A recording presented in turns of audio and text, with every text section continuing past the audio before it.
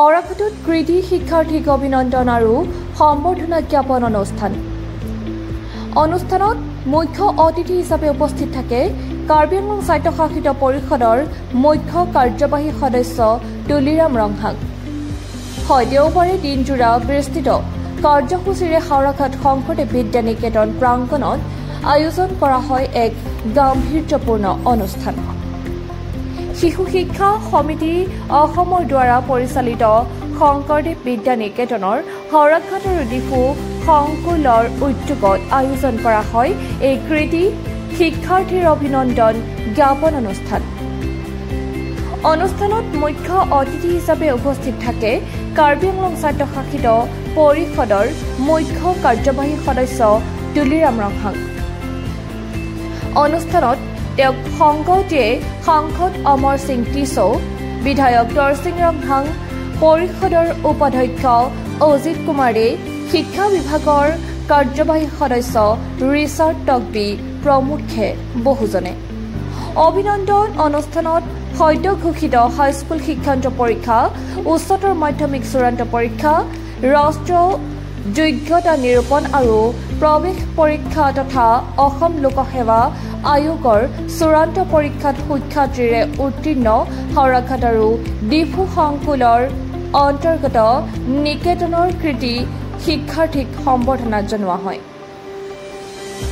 হাওৰাঘাট শংকৰদেৱ বিদ্যা নিকেতন পৰিচালনা সমিতিৰ সম্পাদক কমল শইকীয়াই আগধৰা সভাত উদ্দেশ্য ব্যাখ্যা কৰে প্ৰধান আচাৰ্য বিমল ধৰে। মুখ্য অতিথিৰ ভাষণ প্ৰসংগত তুলিৰাম ৰংহাঙে এইদৰে কয়। সন্মানীয় ৰাইজসকল আপোনালোকে জানে কাৰ্বি আংলঙত ভাৰতীয় পাৰ্টী চৰকাৰ অহাৰ পিছত টি কাৰ্বি আংলঙত গঠন কৰাৰ পিছত কাৰ্বি আংলঙৰ স্থায়ী শান্তি হৈছে। সকলো জাতি জনগোষ্ঠীৰ লগত লৈ আলাপ আলোচনা কৰি স্থায়ী শান্তি হৈছে। যেতিয়া বৰণ কালচাৰত বৰণ কালচাৰটো কৰি নাইকিয়া কৰিব লাগে। আমি বন কালচাৰ কৰ্ম সংস্কৃতি সেই সংস্কৃতি আমি পালন কৰিব লাগে। সেইটো সকলো জাতি জনগোষ্ঠী দৰ্শন বন্ধনে বা বুদ্ধিজীৱী বা জ্যেষ্ঠ নাগৰিক আংলং থকা সকলোৱে আমাক সহায়িকা আৰু আশীৰ্বাদ আৰু মৰম কৰিছে।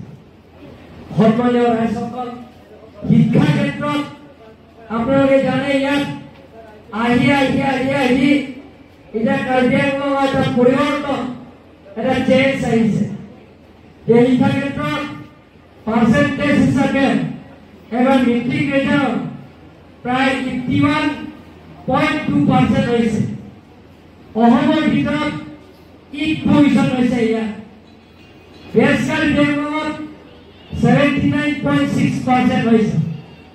আজি আপোনালোকৰ চাওক সেইটো কৰ্ম সংস্কৃতি বা শিক্ষা ক্ষেত্ৰত আগবঢ়াৰ কাৰণে কাৰণ যেতিয়া বন বনৰ সংস্কৃতি নাইকিয়া হ'ব স্কুল যেতিয়া ল'ৰা ছোৱালী যাব ষ্টুডেণ্টবিলাকে যাব তেতিয়া ল'ৰা ছোৱালীবিলাকে যে ঘৰ আহি পঢ়িব সেইটো সুবিধা পাইছে। বা বিদ্যাধৰ্মীয় আণ্ডাৰত যিমানখিনি আংলং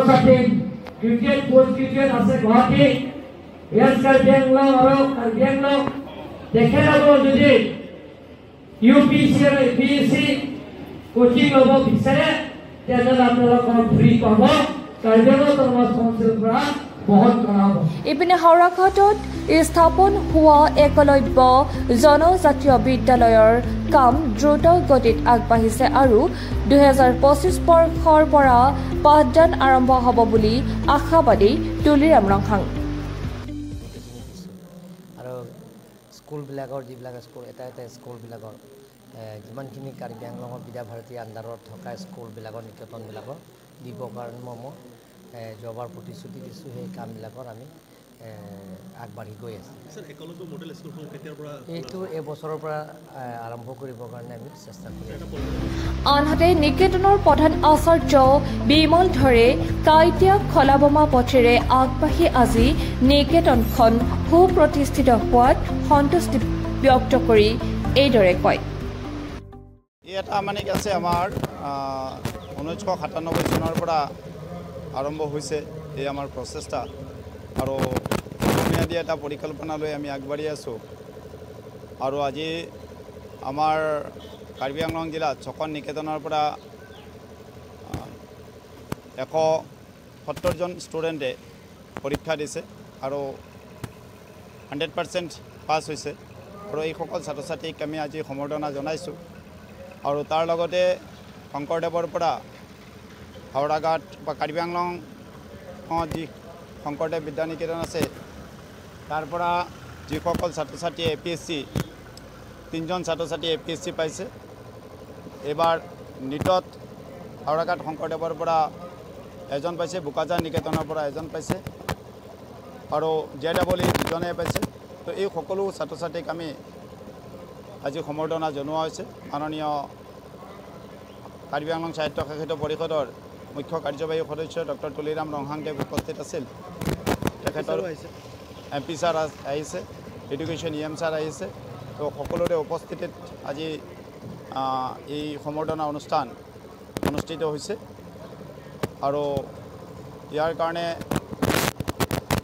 আমাৰ মাননীয় আচাৰ্য আচাৰ্যা অভিভাৱক পৰিচালনা সমিতি সমাজ সকলোকে ধন্যবাদ জ্ঞাপন কৰিছোঁ। সকলোৰে এটা যৌথ প্ৰচেষ্টাত এইখিনি সফলতাৰে আগবাঢ়ি গৈ আছে। Bureau' report J net live.